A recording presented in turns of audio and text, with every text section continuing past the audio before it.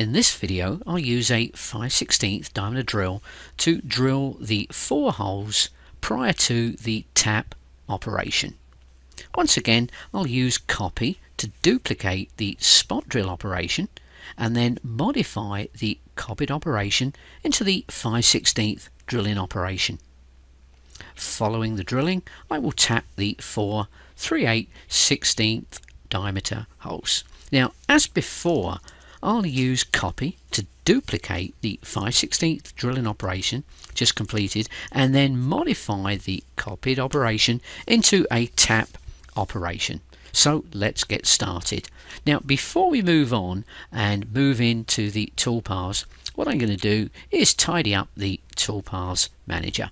Now what I'm going to do in the white space I'm going to right mouse click and then click on collapse. Now don't panic, don't have a cardiac arrest, the toolpaths haven't disappeared.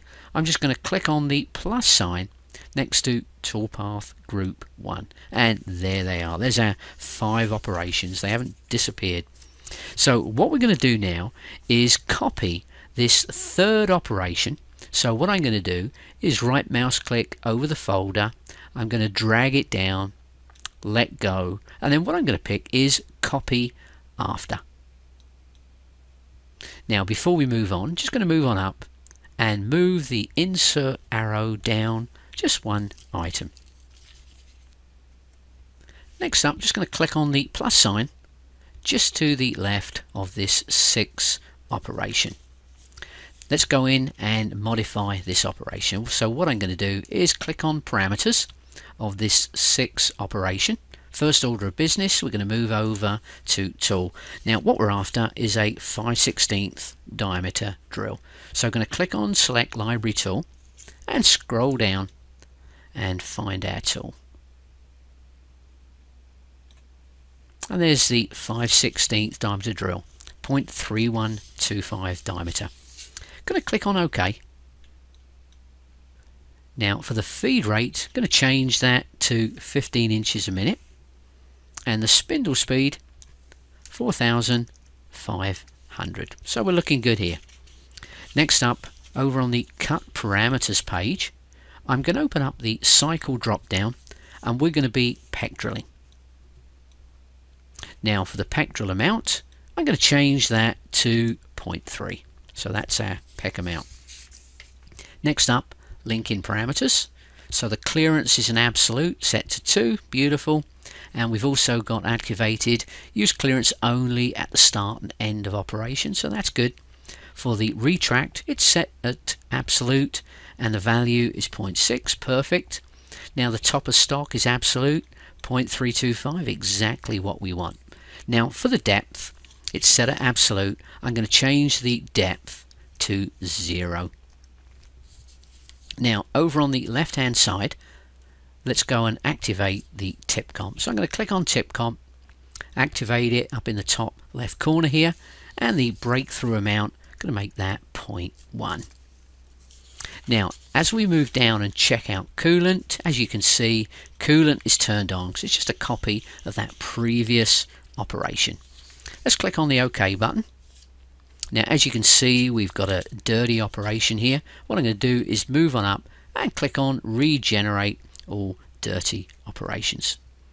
Now what we're going to do for the next stop is make a copy of this 6 operation. So as we did before, I'm just going to right mouse click, drop down, let go and pick on copy after. Now before we move on, just going to click on the move insert arrow down one item. So we're looking good. And then for this 6 operation, I'm just going to click on the minus sign. So next up, let's go and modify, modify rather, this seventh operation. Going to click on the parameters for operation 7. Going to move over to the tool page. And what we're after is a 3816 tap. So I'm going to click on select library tool. We're going to move on down and find our tap and there it is. 3816 tap right hand. So I'm going to click on OK.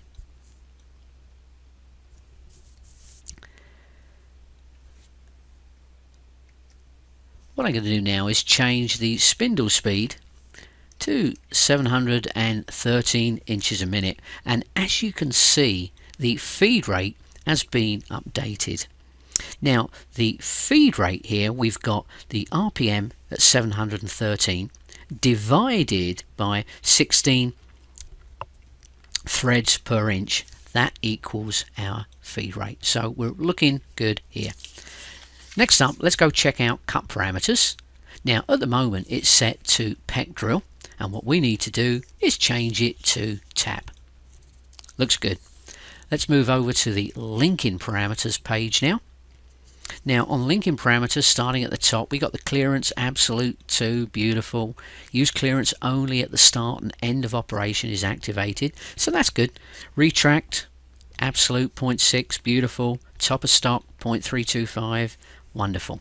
Now the depth, absolute 0, going to change that to negative 0.2. Now over on the left hand side, what I'm going to do is go into tip comp and I'm going to deactivate tip comp. Now as you can see if I go back to linking parameters we've got our depth set at negative 0.2. Now if we check the coolant out as you can see it's set to on looks good and we're done here. Going to click on OK.